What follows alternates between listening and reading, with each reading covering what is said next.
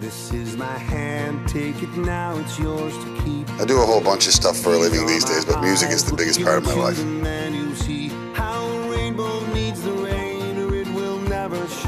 Hey, I'm Alan Doyle. This is Hear Vancouver.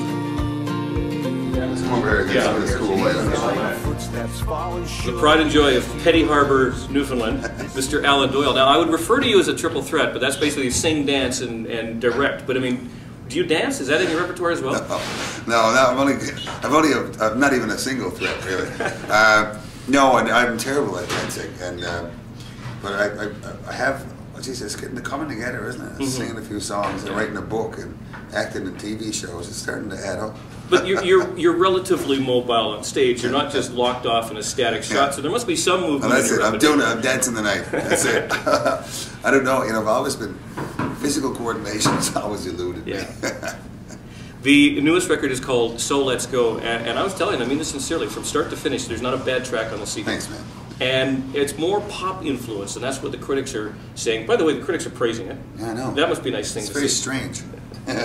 So more pop influence. You did you deliberately set out to to sort of alter your, your style of, of writing a bit? Yeah, I wanted to write pop songs.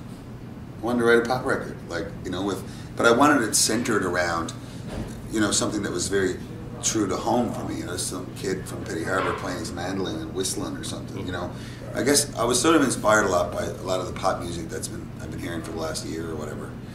You know, whatever it's you know one of the European sort of DJ guys that's just a guy and a guitar in the middle of this huge pop production or some Philip Phillips record or Ed Sheeran or something. You know, it's like like there's these big, huge pop productions that are just really, really centered around something very small and honest. And I thought, you know, well, I'm just some guy from Petty Harbour telling my story. Why, why couldn't that be the center of a big pop thing? You know, and, and that was the whole inspiration of the record. And when you talk about from someplace very small with Petty Harbour, you grew up with basically one access to one media outlet, which was CBC. Yeah. And I understand that, according to your book, didn't you like fashion a little uh, yeah, my brother. hanger? My brother Byrne is much smarter than me, and uh, he's able to figure stuff out. And he uh, he fashioned a coat hanger, and we used to put it on this stick, and we could put it out our window and rise it up on like this clothesline contraption he had made up a pulley to get it up a little higher above the roof. And we could pick up like Detroit radio stations skipping off the ocean and stuff like that. And if you turned it just the right way and the wind was right, you'd hear like Motown. And mm-hmm. you'd hear, and we used to stay awake as late as we could listening to music. And then he rigged away that this cassette player he had, he could tape uh, two 90 minute tapes. So we'd tape it all overnight and we'd listen to it the next day. Yeah. And that was the first time I ever really heard, you know, when I was a very little kid, American pop music and stuff. I heard, you know, later in the 80s, I got, you know, like everyone else, when we got a bit of TV, we got to watch music videos and stuff. So, but that was really my first, that and my uncle's record collection. Right. So, despite the the inherent Celtic music that probably abounds in, Yeah. in your area, you had a lot of other musical influences Yeah. coursing through your veins early. Yeah, by the time I was a teenager, you know, I was uh, um, pretty much a regular in my uncle Ronnie's band, and they played, you know, five generations of music. I mean, they played '50s music, and they played Buddy Holly and the like, and they played Beatles, and they play rock and roll, and they play country, and they play jigs and reels, and they play. So not only was I aware of it, I was actually playing it, like live, and and uh, my uncles were, you know, they were younger than my father, but they were say, you know, I'm 45, they'd be they'd 60, you know, 10 or 12 or 15 years older than me. And in the late 80s, as, or late, late 70s, early 80s, they had like Eric Clapton records and, and Average White Band and Cream and stuff, rock and roll, you know, stuff that guys those age would have liked. So I just sort of, I was very lucky, despite being from a small town, to get exposed to a lot of different kinds of music as a little kid. And, and I was never, I think the point I tried to make in the book about it, I was never told that I was supposed to like one thing and not another thing. You know, I didn't know that most kids my age liked Def Leppard instead of John Denver. I kind of liked them both. Yeah. You know, and I didn't think there was anything wrong with that. Yeah. How are fans responding to uh, to the new pop-ish album? Amazing so far. Like it's just, I think the, the people hear it and they, the, the first thing they hear is me. Yeah.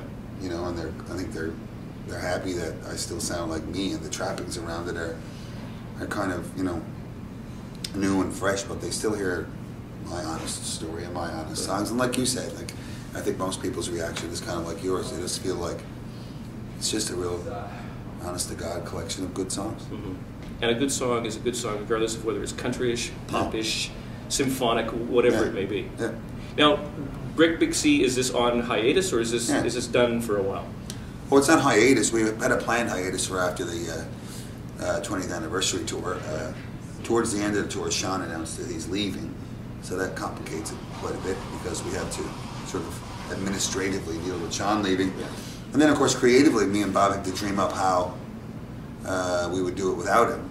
You know, so that's it's complicated and uh, time consuming, but. Um, me and Bob still want to play it, Right. in, you know, in Great Big Sea. It's still one of the Great Why, Big why, Sea stores. why don't you, why don't you do a tour with Russell Crowe? that wouldn't hurt ticket sales, would it? I've done that before too. That's good fun. I mean, we actually had, got together, myself and Russell, and lunch was in LA a few days ago, and, and we, we, we did a record of Crowe Doyle songs that's going to come out later this year. Right. We might actually do a little tour of it. No, I, you didn't you produce a record for him? Yeah. Does he have the musical gene? I've, I've never heard him perform. Oh yeah, he's been doing musical and musical theater since he was a kid, right? Right. And uh, my, I mean, my favorite thing to do with him is write songs. He's a great lyricist. He's Yeah. incredible. He's like, you know, I think I, I don't know if it comes exclusively from being an actor or whatever. And what you know, part of the job is to resculpt things to make them cooler to say. Mhm. So he has a real, a real neat way of making things, you know, a little bit more poetic than they were a minute ago. Yeah. And, and it's kind of a skill and attention to detail that I don't possess, you know. And then, of course, coupled with the fact that he's from a different part of the world, right? Yeah. So, you know, what I think is possible for a song is completely different for him, you know. So it's it's a cool, cool kind of musical friendship as well as a good, you know, honest to God friendship. a good- Well, let's stick with cool music. This is So Let's Go. Seriously, great album. Thanks, man. very much. Appreciate it. Start the concert. This job is easy. Let's grab a snap. We're going to bed. Great. Guys, thanks so much. Thank you so much. Thank you very much.